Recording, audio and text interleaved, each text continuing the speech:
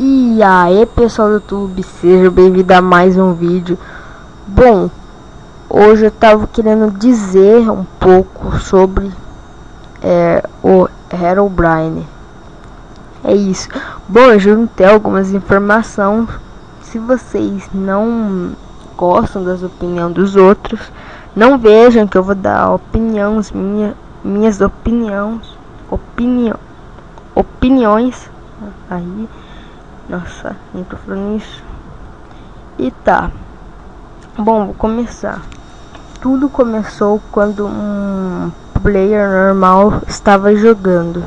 Bom, ele disse ter visto uma vaca, mas como a qualidade dele estava ruim, ele não falou nada. Bom, ele se aproximou um pouco para pegar couro quando viu o personagem Steven mas com uma diferença: seus olhos. Eles, eles eram clareados e só não tinha nada nos olhos.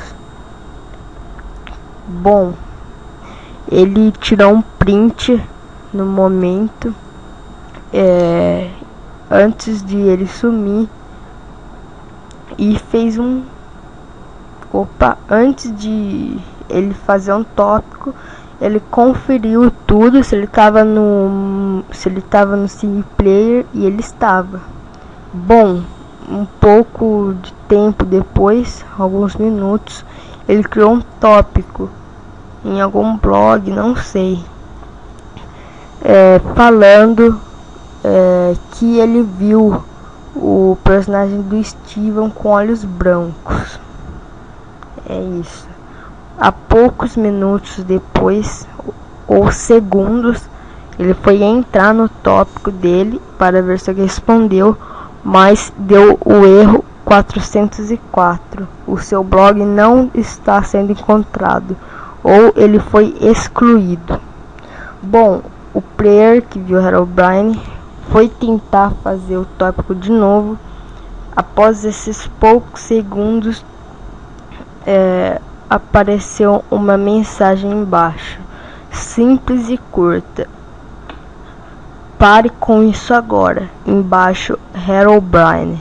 Bom, ele insistiu tentar fazer mais uma vez para ver se mais uma pessoa podia ver aquilo em poucos segundos antes do, do tópico ser deletado. Bom, uma pessoa conseguiu respondê-lo mas não podiam se responder pelo tópico. Então ficaram mandando e-mails um para o outro. E é isso. É, ele mandou mensagens para o Note, muitas pessoas. O Note falou que o Herobrine foi posto apenas para é, a versão de Halloween e também lá no site estava escrito Herobrine Removed, que tinha tirado. E a lenda é que quando a pessoa fica muito tempo jogando no hard, no single player sozinho, o Hero, sem morrer, né? O Herobrine aparece. Eu não sei.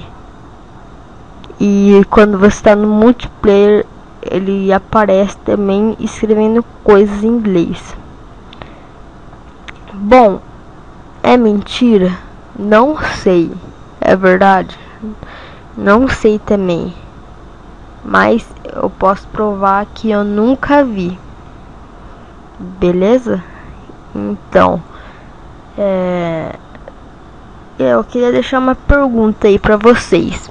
Vocês acreditam em Herobrine? Comentem e é isso. Espero que tenham gostado das informações do Herobrine. Fiquem, fiquem com Deus. Abraço e até o próximo vídeo. Fui!